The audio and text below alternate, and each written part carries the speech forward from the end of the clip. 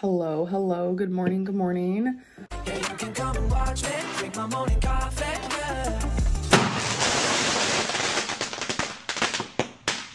I have me a little coffee moment. I notice coffee is such an appetite suppressant. I don't know. Oh god, I'm just feeling so sluggish and fatigued today. I have like zero energy and I hope I snap out of it soon, which I'm sure I will because I go through phases throughout the day where I'm just like energy, no energy, energy, no energy. So I kind of embrace those as they come. I'm wearing Betsey Johnson earrings. I've had these for so long and I think this is like the first time I've worn them. So love that.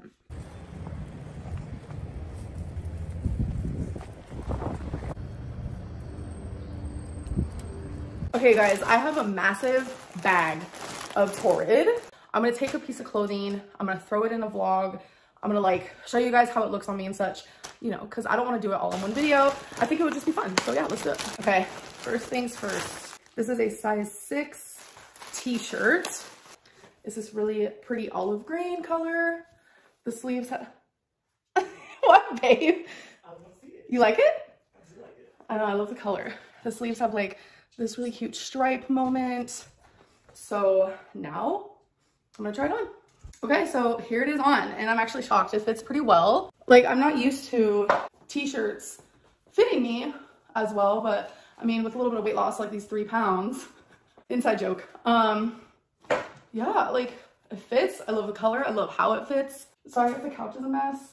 That's all the stuff that we got from Ross that I still have not put away. So I think I want to rate each outfit or each uh, it's not really an outfit, like dress or shirt that I get. I'm gonna do it out of five, and I literally give this probably a four or a 4.5 out of five, and my girlfriend also said a 4.5.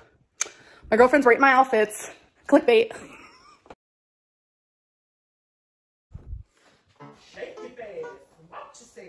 Yourself. Babe, get a like. Never. Doesn't matter. Say it, it. He was eight years old. No. Ooh, I like it. Oh, thanks, babe. Okay, you guys, make lunch with me. First things we need is flatbread. You are also going to need cream cheese, some lunch meat of your choice. Mine is rotisserie seasoned chicken breast. You're gonna need some scallion, some ranch seasoning. Okay, so I wanna make it known that I actually saw my friend do this recipe on TikTok.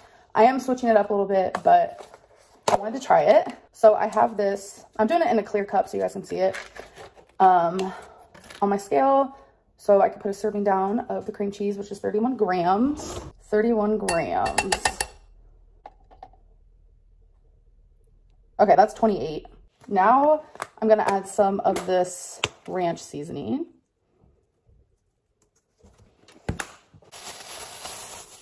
So now you're gonna cut some scallion. So my friend put parsley, but in replace of parsley, I'm putting an onion flavor because I personally love it. So I'm just chopping these pieces super, super small. Okay, so we're gonna add that to this mixture. So you also have the option to cook some bacon and crumple it up in this mixture. But if we're being quite frank here, I forgot. Okay, so I'm just gonna, okay, I'm gonna smear it. I hate that word, smear, so gross. Then just put your desired meat on the wrap, obviously.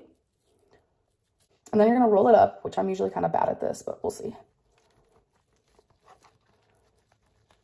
Wow, I did not do too bad. And now you're just gonna cut them into pinwheels. I love me a pinwheel and I've never made, made one from scratch. You can do it in so many different ways. Um, I just wanted to try something easy to see what I thought. And then there you go. You have your cute little sandwiches. Aren't they so cute? So I'm gonna go eat this. Wait, you know what? We should do a taste test.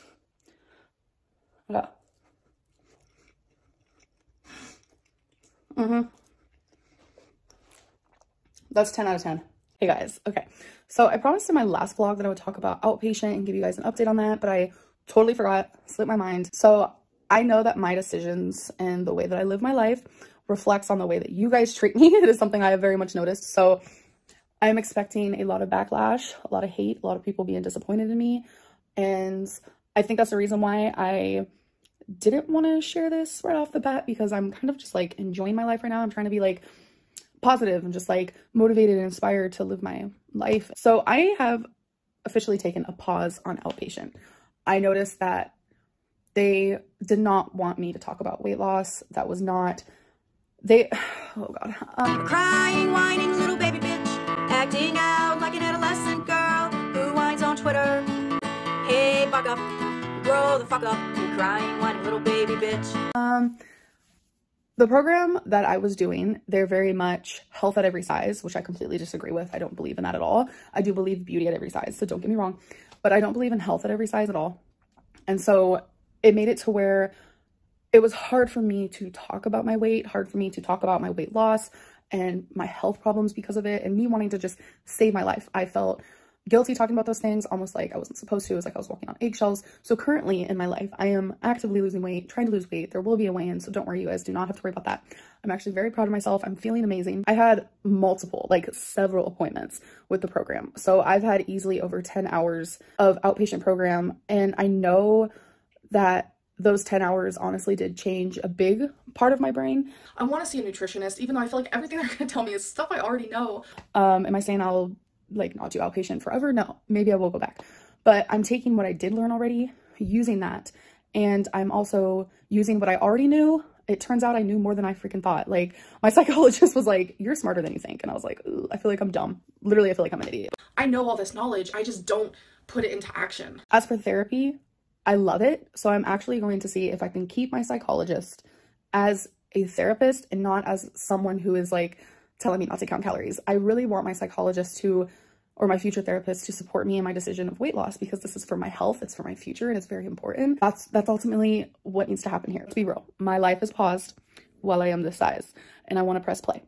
and I also would like to say that I have not binged in, oh my gosh, it's been almost a week and it honestly feels amazing.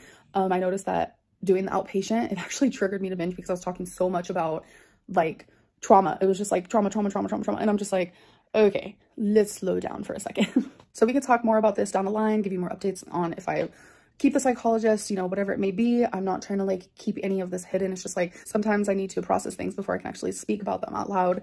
So I hope that you guys understand that. And I think as long as I am making progress mentally and physically in all the health ways and like the mental health and whatever it may be, that is the, the track that I'm wanting to be on 100%. Um, I hope that you guys just accept my decision like as a person and know that I am making progress and you guys will see that progress, I promise. Anyways, I'll see you guys in my next video. Bye. I get lost sometimes and I can't seem to find a light between the walls I built for myself right in my mind.